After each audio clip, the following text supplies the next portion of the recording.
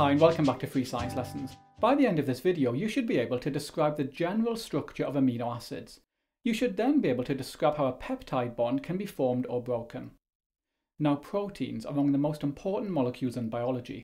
Proteins carry out a vast number of functions in living organisms, and all proteins are formed from amino acids. There are 20 different amino acids found in biology. So we're going to start by looking at the structure of amino acids. I'm showing you the general structure of an amino acid here. Now I should point out that this is not a specific amino acid, this is the general structure shared by all amino acids, and you definitely need to learn this structure. Now there are three main parts to an amino acid. We've got the amine group here and the carboxyl group here. These two groups are the same for every amino acid. And finally we've got the R group.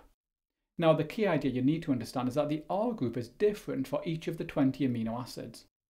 I'm showing you two different amino acids here, and remember that you don't need to learn these specific examples. In the case of glycine, the R group is a hydrogen atom, and in the case of alanine, the R group is a carbon atom bonded to three hydrogen atoms. Now in the exam, you could be asked to name the elements present in proteins. Looking at the general structure of an amino acid, we can see that they contain the elements carbon, hydrogen, nitrogen, and oxygen.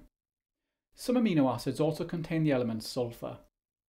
Coming up, we're going to look at how amino acid molecules can bond together by forming a peptide bond. Okay, I'm showing you here two amino acids side by side. In this case, these amino acids are both glycine, but this applies to any amino acids. Now, these two amino acids can react together and form a chemical bond, and I'm showing you that here. The bond formed is called a peptide bond, and you do need to learn that. As you can see, we've also formed a molecule of water, so this is an example of a condensation reaction. And we saw condensation reactions when we looked at polysaccharides. The molecule that we formed is called a dipeptide, as it contains two amino acids bonded together. This reaction takes place in ribosomes, which is where proteins are synthesized in cells. The reaction is catalyzed by a specific enzyme, and we'll look at that in a later video. Now, if we join three or more amino acids, then we make a polypeptide, and I'm showing you that here.